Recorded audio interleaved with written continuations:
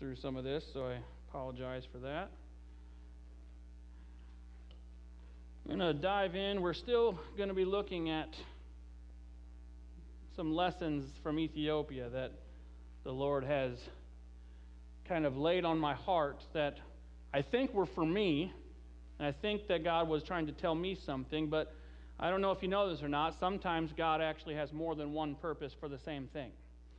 And so I think it's necessary that as the Lord's dealing with me on things, that it might help in some of your walks to, to understand what the Lord is talking about and dealing about. And so you heard me start last week talking about this chaos that I saw all around me. And the primary focus of that chaos was everywhere you looked, there were unfinished buildings, buildings that they'd started but not finished. So I, put, I brought up a couple pictures. Let's put the first one on there. This is actually literally, no joke, right across the street from our hotel in Addis. So literally, you look out the window and you expect a great view, and instead you get this unfinished concrete building. And if you look, you see the wooden structures. Well, that's a fun noise. You want, you want to mute the computer, see if it's coming from the computer? But if you look, there's some horizontal and vertical wooden sticks there. That's scaffolding. So a bunch of crazy Ethiopian people take eucalyptus branches that are about this big, stand them up against a building, and just nail them to a brick building, and then just put pieces of platform across them. That's what they work on. And I got to thinking to myself, well, I don't think OSHA would approve of that. But that's everywhere you look. So I thought maybe it's just this one building. So we went to another building. Let's go. Oh, look, they don't even have scaffolding. That's just wide open spaces. Just fall, you know. So if you were going out there, that fit, that building had nobody work on it the entire time we were there because they had run out of money. So they had to wait and save some more money. So the building sits empty. And so what they would do now, a lot of people would use that and light fires on the different levels to keep warm at night. Let's go to the next one.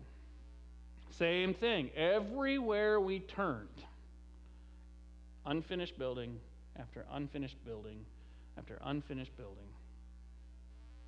And I, I couldn't get the picture in the right format, but it wasn't just businesses and, and home buildings either. It was also, I actually have a picture of one of the Eastern Orthodox temples that it wasn't finished either, and it just had scaffolding going over the dome of it. Everywhere you went, unfinished building after unfinished building next to maybe a rundown shack of a building, and those two might actually be next to a really nice finished building. Our hotel, the one where we're right across the street from that spot, there's rubble and debris and everything else there, and right across the street, we had one of the nicest hotels I've stayed in. So you could have a really nice finished building right next to a shack, and then that's right next to an unfinished building at the same time. There was no rhyme or reason to anything. It reminded me a lot of Florida. If you've ever gone to not commercialized Orlando, Florida, so if you've ever been to some of the places that aren't commercialized, like my family's from Pensacola, Florida, you can drive down the road and you can see this big open landscape with a giant mansion there. And then turn about 10 degrees to the right, and here's someone with a 1960s mobile home right next to it. They, they don't believe in neighborhoods there. They just, wherever you can put a spot, and I've owned this land, it's mine, and I'll put whatever I want here. And so you can have mansions. They had to make those rich people nuts, right?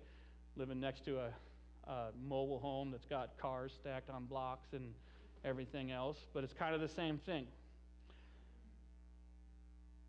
Just so you know, I'm just going to warn you, I'm preaching without notes again, so who knows where this is going to go. but Two or three days went by seeing these unfinished buildings everywhere. It didn't matter if I was in Addis Ababa. It didn't matter if I was in Hosanna. It didn't matter if I was in Otoro. It didn't matter if I was on a road anywhere in between. Unfinished building after unfinished building.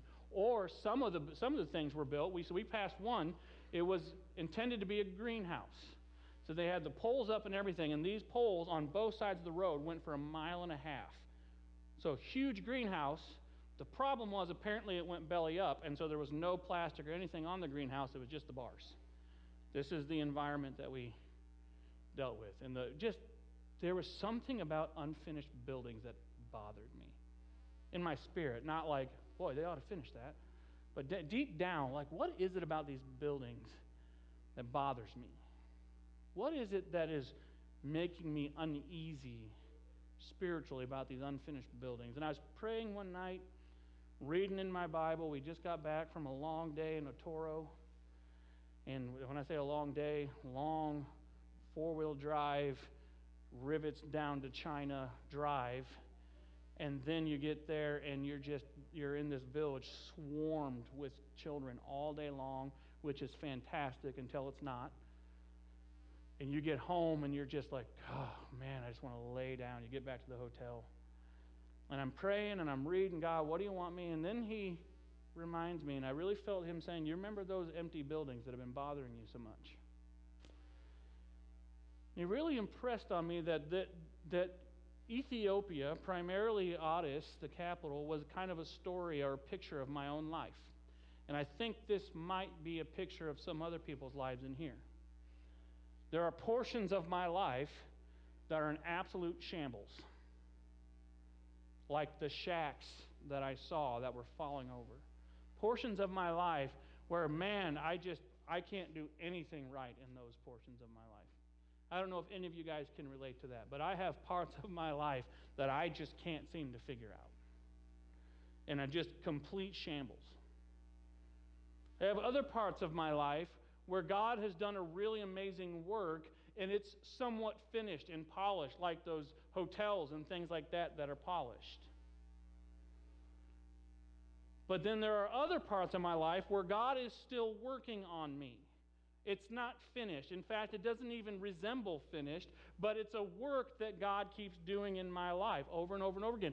I don't know, maybe there's nobody else in this room, but one of my biggest struggles is I could be branded by what the Bible would call a hothead. I struggle with my temper.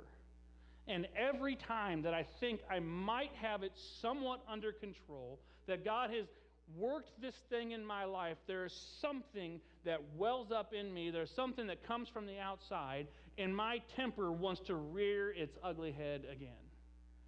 And again and again and again. And the problem is when guys like me have bad tempers, see, I'm not a physical fighter, I'm a sarcastic person. So I can rip someone to shreds just by the words of my mouth.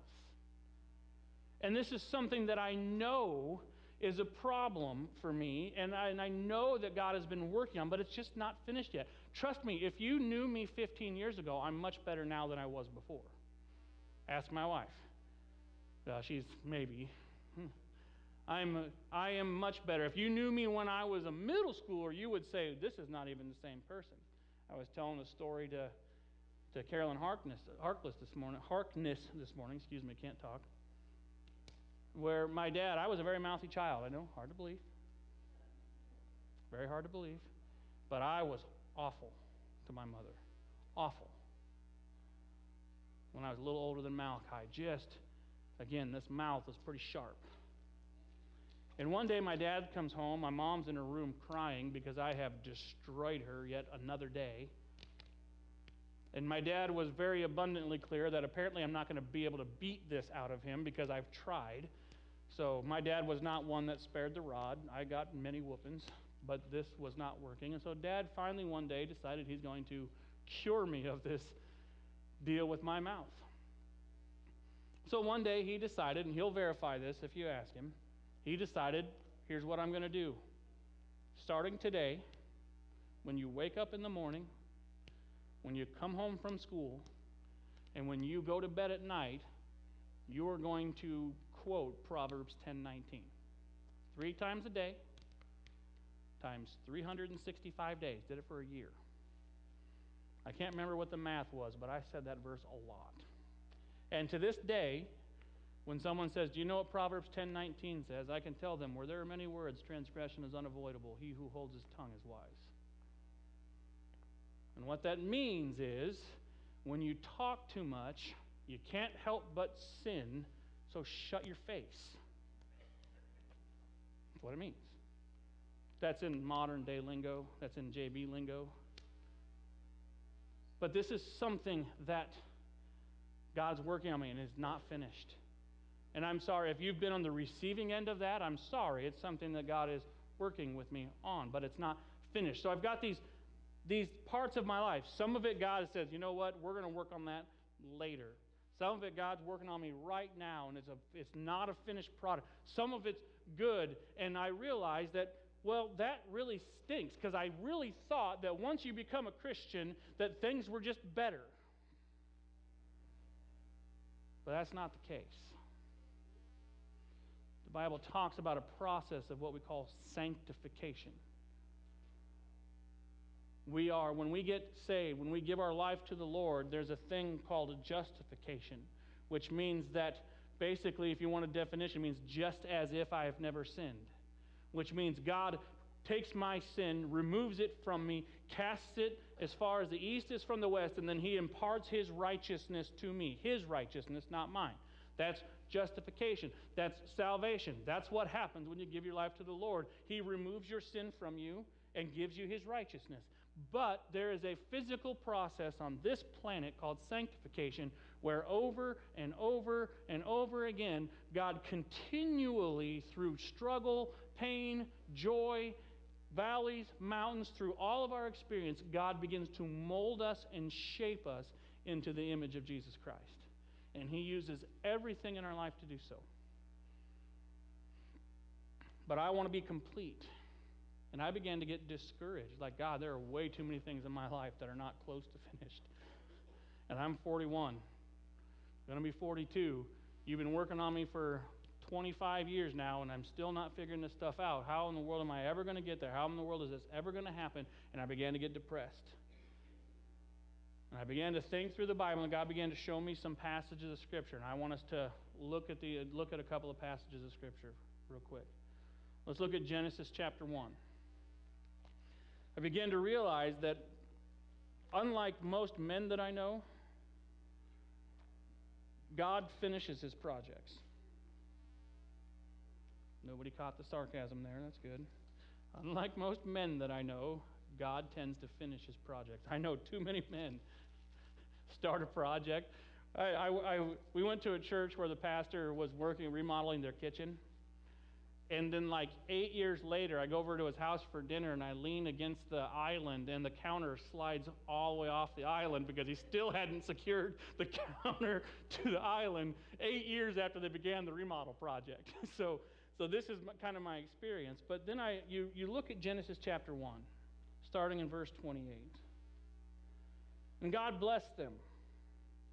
And God said to them, Be fruitful and multiply and fill the earth and subdue it and have dominion over the fish of the sea and over the birds of the heavens and over the living things that moves on the earth. And God said, Behold, I have given you every plant yielding seed that is on the face of all the earth, and every tree with seed in its fruit. You shall have for them for food. And every beast of the earth, and to every bird of the heavens, and to everything that creeps on the earth, everything that has breath of life, I have given every green plant for food. And it was so. And God saw everything that he had made, and behold, it was very good. And there was evening and there was morning the sixth day. So, God, when God starts on day one and he's got nothing but a clean slate, the Bible says that the earth was void and formless. The Spirit hovered over the darkness of the water. He's got a blank slate and he begins to let there be light. He begins to bring order to the chaos of what he had just created, to the chaos of the earth. He begins to bring light. He begins to separate land from water. He begins to bring life onto the planet. He begins to do all these things. But the one thing we have to be sure of this is probably the stark contrast between the world, Christian worldview of creation and the worldview of evolution is on the sixth day, he was done. He was complete. The world was finished. And not only was it finished, it was very good. It was every other day, one through five, the, everything he'd done, and God saw that it was good. But on the last day, when he finished everything, and put man in the garden was very good. It's complete, it's finished.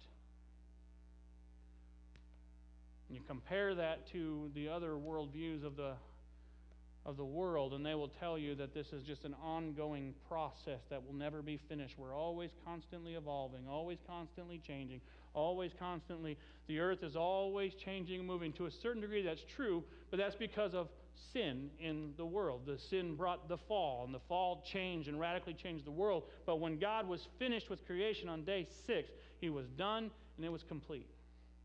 God is obsessed with completing the things that He started. We can look at another instance of God's completing things that He started. In the theological world, we would believe that this is not a conglomeration of 66 books.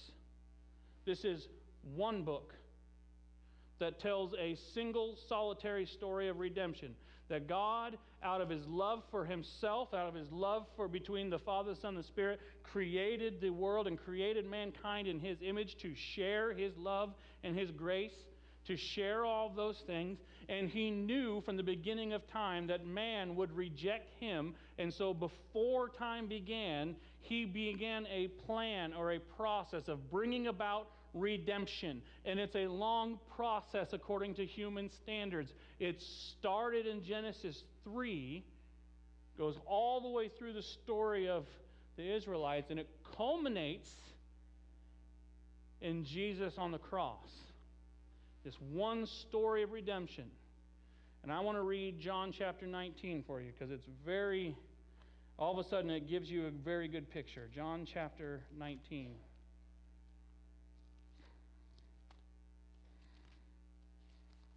John chapter 19 and starting in verse 28. Jesus is on the cross here, and, and it says this After this, Jesus, listen to this, knowing that all was now finished. This 2,000 year story of redemption has met its completion it's finishing with Jesus hanging on the cross. Said, now finished, said to, to fulfill the scriptures, I thirst. And a jar full of sour wine stood there, so they put a sponge full of sour wine on a hyssop branch and held it to his mouth. And when Jesus had received the sour wine, he said, It is finished. And he bowed his head and he gave up his spirit. So, in our timing, in the what seems like a long time, to God is just but a breath. And God tells the story of redemption.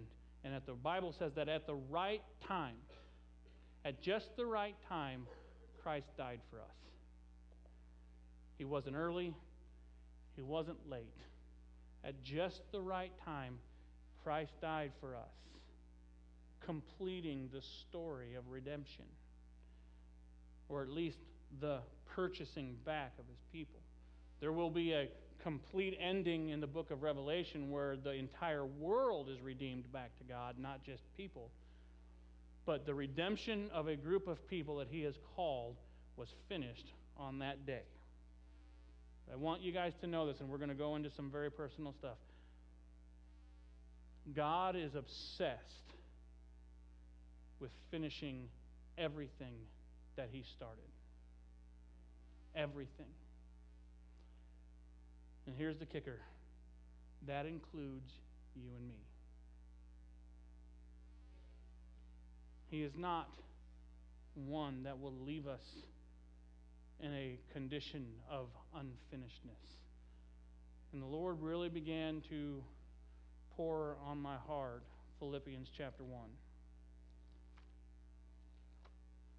We like to quote verses out of context. I don't know if you've known that about the human race. We like to pick one verse and read it and apply that to our lives, but then not look at the verses before it or the verses after it. So I want to look not just at the one verse, but I want to look at the entire context. Philippians chapter 1, starting in verse 3. Paul is writing to a church in Philippi that he started. And He knows that there's things in here. He's yearning to see them, he's yearning to be with them again. And this is what he writes I thank my God in all my remembrance of you, always in every prayer of mine for you all, making my prayer with joy, because your partnership in the gospel from the first day until now. Now, listen to this. And I am sure of this that he who began a good work in you will bring it to completion at the day of Jesus Christ. It is right for me to feel this way about you all because I hold you in my heart, for you are all partakers with me of grace, both in my imprisonment and in the defense and confirmation of the gospel. For God is my witness how I yearn for you all with the affection of Jesus Christ. And it is my prayer that your love may abound more and more with knowledge and discernment, so that you may approve what is excellent. So be pure and blameless for the day of Christ, filled with the fruit of righteousness that comes through Jesus Christ to the glory and praise of God. First of all, amen.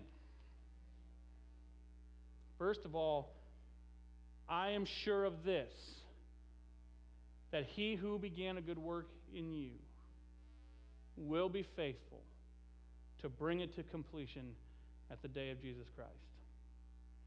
I am sure of this. That was this is not a this is Paul saying, look, I am not I'm not wishy washy about this at all. I am sure, not even confident. You know, because sometimes confidence is actually misplaced, right? Sometimes people are confident about something that they probably should not be confident about. As, a, as an IT person, as a computer person, when I had people who um, basically typed on a computer but had no idea about taking a computer apart or doing anything, trying to tell me what they knew was wrong with their computer really is misplaced confidence. So he's not saying I'm confident because confidence leads to the ability or the possibility that he's wrong, that God won't bring to completion. I'm confident that he will, but it's possible that he won't. But that's not what he says. He says, I am sure, I know beyond a shadow of a doubt, I know that I know that I know that he who began a good work in you will be faithful to complete it at the day of Christ. He's sure of it. Well, that raises a different question to me. What makes him so sure? And I love what he said immediately after that verse.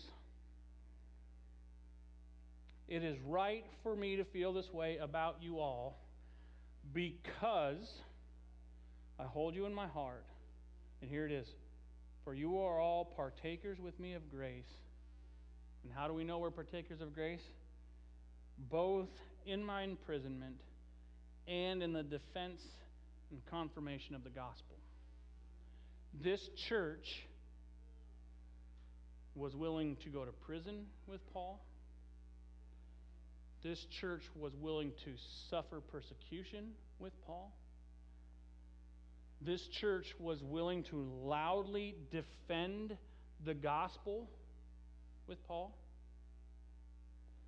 This church was loudly able to confirm the gospel, that the gospel that their lives had been changed. How do you confirm the gospel? We show people that this person was this way, and after Jesus Christ, they were radically changed for the glory of God. They were able to confirm the gospel.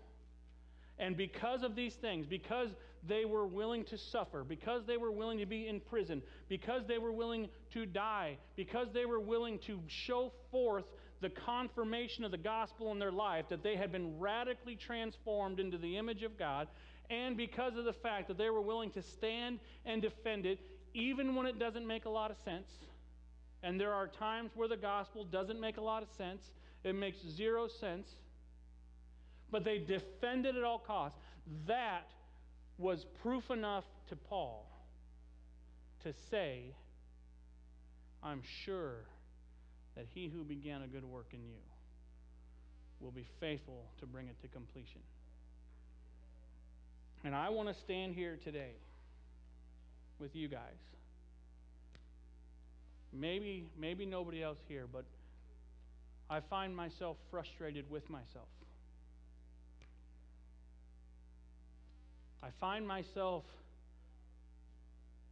constantly on the failures block, constantly not living up to my own expectations. And my thought process, my natural inclination to say, you know what? I failed this time, but I am going to do better next time. I will do it. I will accomplish it. I am going to work harder. I'm going to do this. And if you notice, the subject of that sentence was, I'm going to do this. I'm going to do this. I'm going to do this. And that's not what Philippians 1 is saying. It is saying, For he who began a good work in you, which means Jesus Christ began a good work in you. He who began a good work in you, that person is far more faithful than you are. And I am. Jesus, let's just slow that down. Jesus Christ is far more faithful than you or I are. He's far more faithful, and he loves you and knows you more than you love and know yourself. And that person, Jesus Christ, he will bring the work to completion. It is not up to us to bring about perfection because we are incapable of bringing that standard up. We can do things to be intentional, we can do things to to spiritually be aware, but I will tell you this when it comes to God working in your life, you will be far better served to spend every morning on your knees, first of all, asking God to forgive you and repent of your sins, and secondly, asking God to continue the work in your life earnestly. Because when you try and bring about change in your own life by yourself, apart from the Holy Spirit, what ends up happening is you end up glorifying yourself in the process. Look what I did. This is why drug addiction is so hard, right? Because what happens when people try and do it on their own, they'll kick habits for a while. And trust me, I have a lot of experience with friends and family who've been addicted to drugs. And I've watched this happen over and over and over again. They'll kick it for a while, and then they will sit there and all on their own. They'll kick it for a while, and then they'll say, Look, I beat it all on my own. I don't need that God stuff. I don't need any of that. I beat it on my own. This is why alcoholics will always tell you, I'm always alcoholic. Even when I'm not drinking, I'm still an alcoholic. Why? Because I can't do that. I can't get past it on my own. I can't do that. I, I will sit there and brag about myself. I'm six days clean or six months clean, and I did it all on my own. And every time that someone has said that to me, it's not a short time later, and that person I've had to drag out of the belly of a drug den because they tried to do it on their own. They tried to change themselves. You know, we have these fun little phrases that we use. We've got to pull ourselves up by our bootstraps. I don't even know what that means.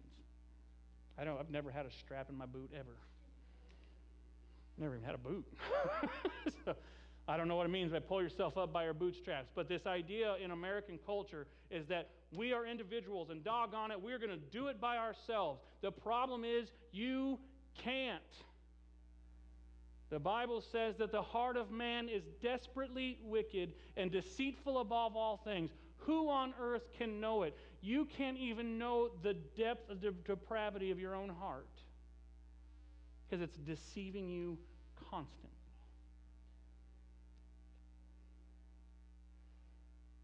But if you allow God to radically transform, if you seek the Lord and you say, God, I need you to change this in me, what you will find what you will find is that God will use all these circumstances of your life to constantly bring about change that you don't know about. You don't even know that you're being shaped in His image. The Bible says that we are being transformed into the image of His dear Son. And here's what it says from glory to glory to glory. Meaning it's not from glory to glory in heaven, hallelujah. No, He is changing us into His image from one instance, one glory, to the next one, to the next one. And if we will stop and allow God to work at us and work on us in our most painful moments, in our biggest suffering moments, in the moments where it seems like there is no way out. If you'll stop and let God move and let God speak to you through His Word, through His church. Sometimes it's through the sayings and phrases of a little child. If you were in Sunday school this morning, David Platt talked about that, how he was in the Himalayas and a little child just wanting some of his food. And they told him that you're not supposed to give him and give these people any of your food because we're trying to do a more sustainable work here. So he pulled his hand away and turned away from the child. And in that moment, God spoke to him and said, That is what you do to need all the time, is you turn away from it instead of running to it. God will radically move you and transform you if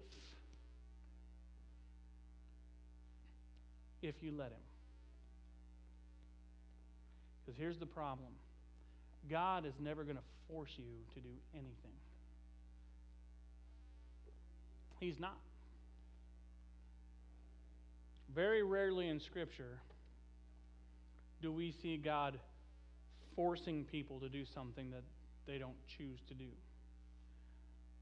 There are a couple of instances where it seems that way. When the Apostle Paul was Saul and he became Paul, it didn't seem like the Lord left Paul a lot of options on the table, but, but he knocked him off of his horse. And when the Apostle Paul saw the glory of God, I love his response. The Apostle Paul sees the glory of Jesus Christ. Remember, Apostle Paul had been killing Christians just the day before. And he sees the glory of Jesus Christ, and his response was so telling. Who are you and what do you want from me?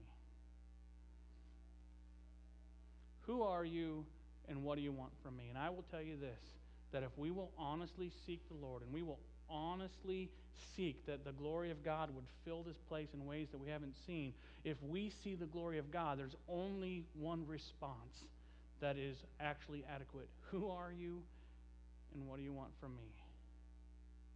I'll do it because I know that your glory is far greater than my glory. Your honor is far greater than my honor. You clearly are a being that thinks and acts and moves in ways that I cannot possibly fathom in this little tiny finite body. But understand this God doesn't bring something to the completion by forcing you to do something. He will take you around the mountain over and over and over again until you get it. That's why I'm still working on my temper.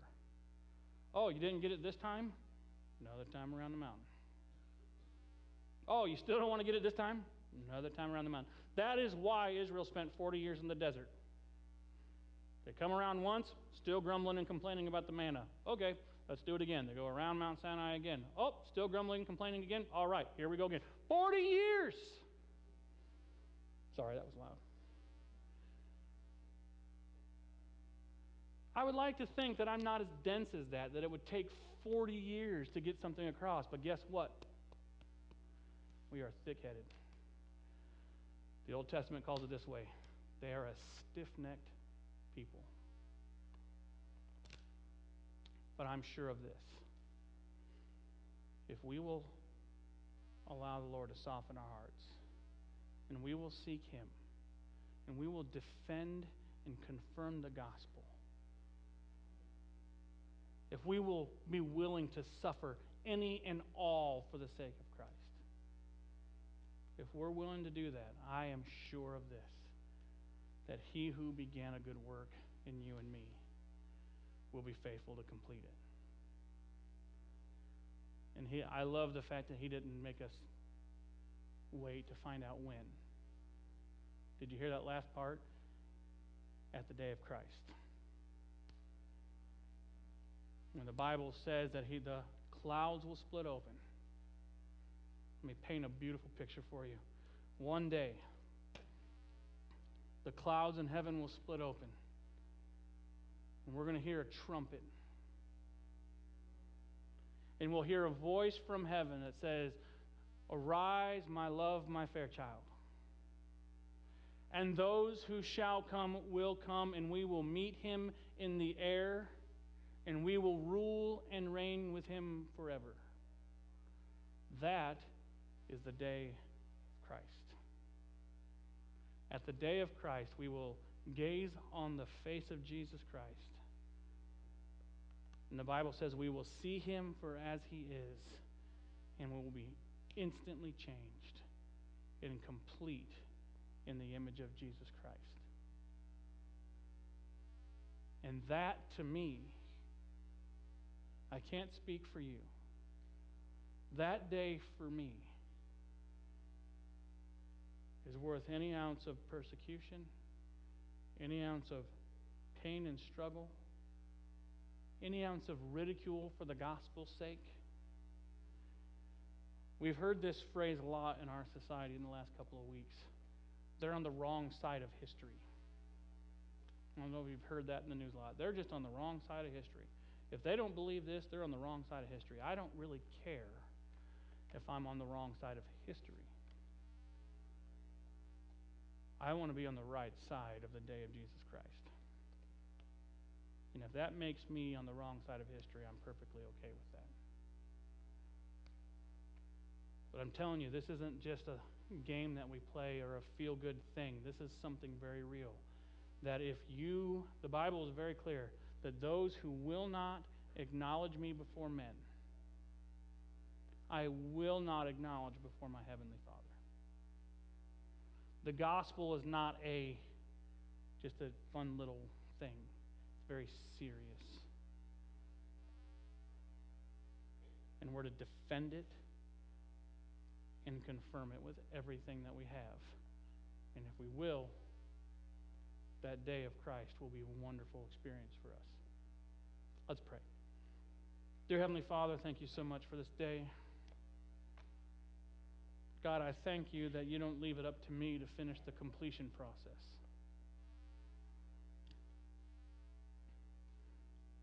Because, God, I can mess that one up too. It seems that everywhere I turn, I mess it up. I feel like the Apostle Paul. Those things I do want to do, I just can't find myself to do. Those things I don't want to do, those things I do all the time. And who's going to save me from this body of death?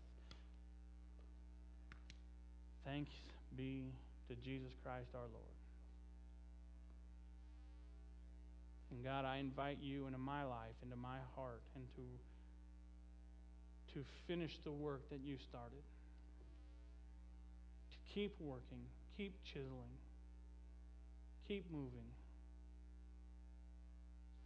God, I don't care how com- uncomfortable it is. I don't care how painful it is. I don't care how many tears I have to shed. God, I don't care. I want to be like you. I want to be finished and do whatever it takes.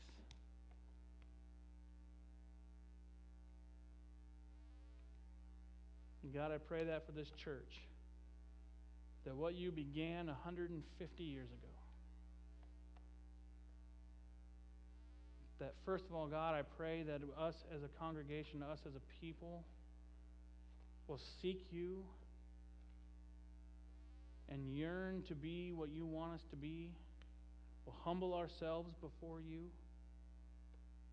And God, if we'll do that, we pray that you would come in and you would, no matter how painful, no matter how much struggle, that God, you would bring your plan for this church to completion at the day of Christ. And we will be faithful and we will be sure to make sure that we know that any good work and all good works are nothing but a gift from the glorious grace of Jesus Christ. God, continue to move. In Jesus' name, amen.